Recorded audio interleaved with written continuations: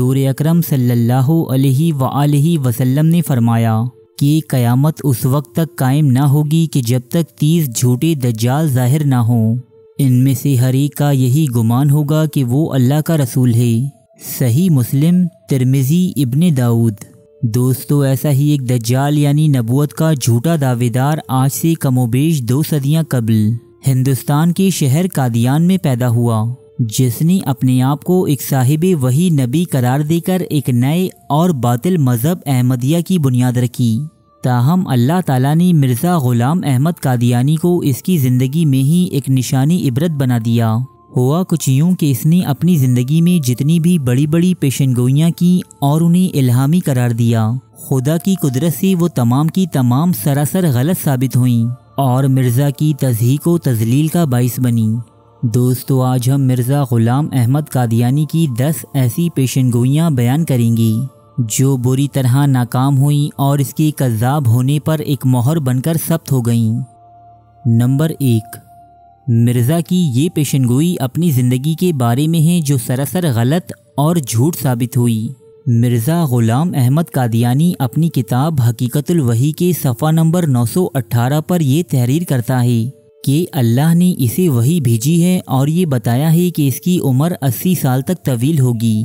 मिर्ज़ा के मुताबिक इस उम्र में पाँच साल की कमी या बेशी हो सकती है। मिर्ज़ा इसी किताब में अपनी हालिया उम्र भी तहरीर करता है जो उस वक्त 68 यानी अड़सठ बरस थी।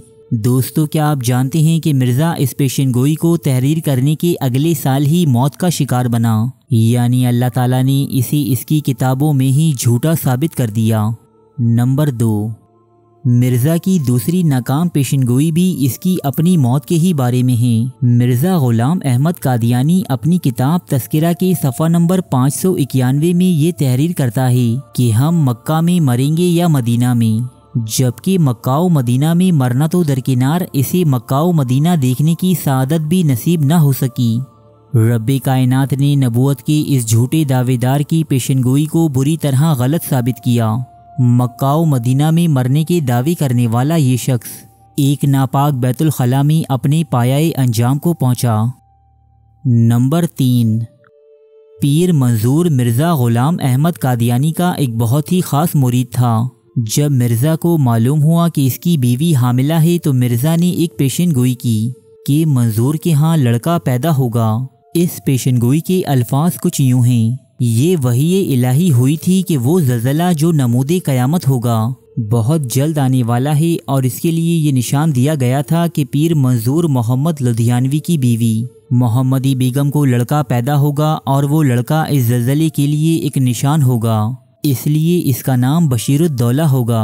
हकीकतुल वही हाशिया ख़जाइन, जिल्द बाईस, सफ़ा नंबर 103 मिर्ज़ा ग़ुलाम अहमद कादियानी की ये पेशनगोई भी बुरी तरह नाकाम हुई, क्योंकि मुरीद के यहाँ लड़के के बजाय लड़की पैदा हुई। जब इर्द गिर्द से बड़ी लानतान हुई तो मिर्ज़ा ने शर्मिंदगी से बचने के लिए एक और झूठ गढ़ दिया, कि मेरी इससे ये थोड़ी मुराद है कि इसी हमल से लड़का पैदा होगा। बल्कि लड़का आइंदा किसी भी हमल से पैदा हो सकता है। खुदा की कुदरत की वो औरत ही मर गई। लिहाजा ना तो वो लड़का पैदा हुआ और ना ही कोई जल्जला आया। जबकि मिर्ज़ा की दर्जनों झूठी कहानियों में एक और का इजाफा हो गया। नंबर चार।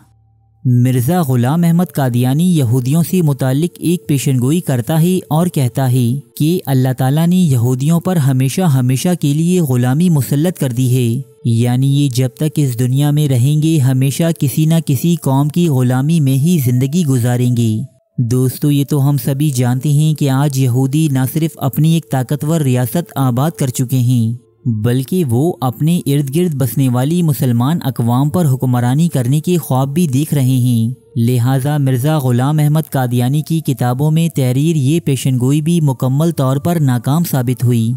नंबर पाँच, मिर्ज़ा ग़ुलाम अहमद कादियानी ने अपने चौथे लड़के मुबारक अहमद को मसला मऊद, लंबी उम्र पाने वाला और न जाने कौन कौन सी सिफात का मालिक बताया था।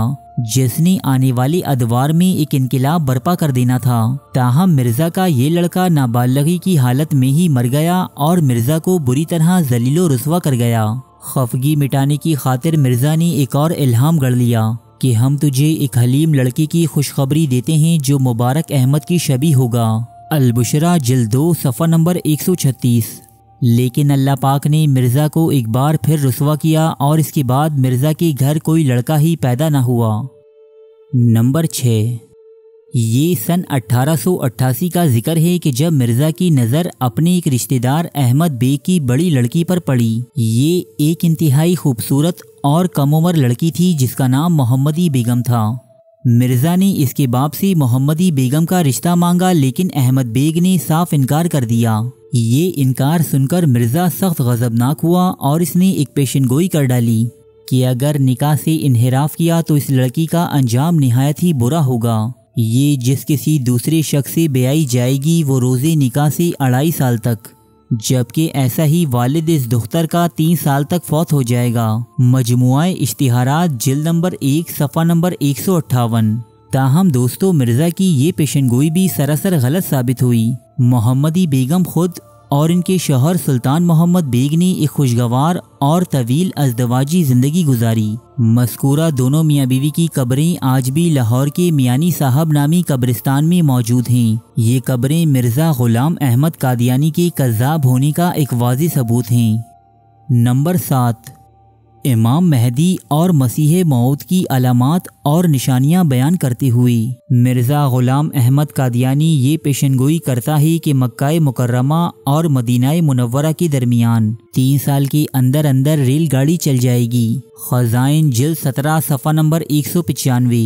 मिर्ज़ा ने ये किताब सन 1902 में तहरीर की थी और इसकी पेशनगोई के मुताबिक 1905 ईस्वी में ये रेलगाड़ी चल जानी चाहिए थी। ताहम 100 साल का अरसा गुजर जाने के बावजूद ये रेलगाड़ी अभी तक नहीं चल सकी। यूँ मिर्ज़ा की नाकाम पेशनगोइयों में एक और का इजाफा हुआ। नंबर आठ। मई 1907 की एक रोज़ मिर्ज़ा ग़ुलाम अहमद कादियानी और मुसलमान डॉक्टर अब्दुल हकीम का मुनाजरा हुआ। अब्दुल हकीम ने जब मिर्ज़ा को कज़ाब कहा तो ये सख्त तैश में आ गया और इसने, अब्दुल हकीम को ये बदुआ दी कि तू मेरी ज़िंदगी में ही मर जाएगा। जवाब में अब्दुल हकीम ने मिर्ज़ा को बदुआ दी कि तू न सिर्फ़ मेरी ज़िंदगी में बल्कि पंद्रह माह के दौरान ही मर जाएगा। बादजा मिर्ज़ा ग़ुलाम अहमद कादियानी ने अपनी तहरीरों में अब्दुल हकीम से मुतालिक और भी बहुत सी पेशन गोइयाँ की कि जैसे ये बहुत ही अजियतनाक मौत मरेगा और इसका हाल असहाबुल फील जैसा होगा। जबकि मैं इसकी मौत के कई साल बाद तक ज़िंदा रहूँगा। दोस्तों, खुदा का करना ऐसा हुआ कि इस मुनाजरे के सिर्फ़ एक साल बाद ही, यानी 26 मई 1908 को, मिर्ज़ा खुद हैजे जैसी बीमारी में मुब्तला होकर मरा। नंबर नौ, हज़रत मौलाना सनाउल्ला अमृतसरी का शुमार बर सग़ीर के उन नामवर उलमा में किया जाता है कि जिन्होंने रद्दी कादियानियत में इंतहाई अहम किरदार अदा किया।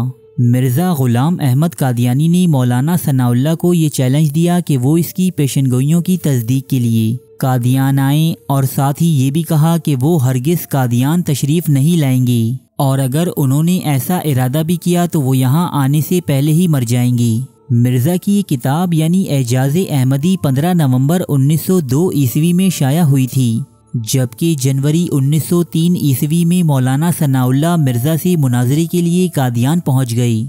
मिर्ज़ा की तमाम दावे झाग की तरह बैठ गए और वो इनसे मुकाबले के लिए सामने ही ना आया।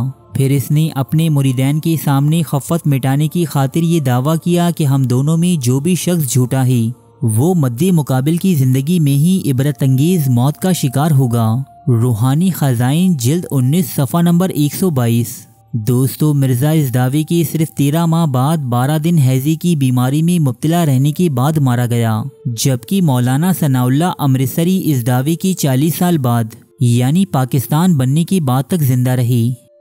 नंबर दस, मिर्ज़ा की पहली शादी इसकी मामू की बेटी हुरमत बीबी से हुई थी। ताहम जब मिर्ज़ा का झूठ पर मबनी कारोबार चल निकला और दौलत की रेल पेल हुई तो इसने दहली में रहने वाली एक कम उम्र लड़की नुसरत जहाँ से दूसरा बिया रचा लिया। मिर्ज़ा ने इसी पर बस ना किया, बल्कि फरवरी 1886 में शाया होने वाले एक अखबार में ये पेशनगोई भी कर डाली कि अनकरीब बहुत सी खवतिन मुबारक। मेरे निकाह में आएँगी और इनसे कसीर औलाद भी पैदा होगी। तस्कराए मजमुआ वही इल्हामात, सफ़ा नंबर 111 ताहम दोस्तों, ये भी मिर्ज़ा ग़ुलाम अहमद कादियानी की एक मनगढ़ंत ख्वाहिश ही साबित हुई और इसके बाद मिर्ज़ा की अकदमी कोई भी औरत ना आ सकी। हालाँकि मिर्ज़ा ग़ुलाम अहमद कादियानी ने मोहम्मदी बेगम समेत दीगर कई खातन से बिया रचाने की कोशिशें की, ताहम वो अपने इस मंसूबे में कामयाब ना हो सका। दोस्तों, ये थी मिर्ज़ा ग़ुलाम अहमद कादियानी की चंद पेशन गोइयाँ कि जो सरासर गलत साबित हुईं। कुरान और सुन्नत में ख़त्म नबूत की दलाइल को अगर एक तरफ़ रखकर सिर्फ़ इन झूठी पेशन गोइयों पर ही गौर कर लिया जाए तो ये किसी भी भटके हुए इंसान की आँखें खोल देने के लिए काफ़ी हैं।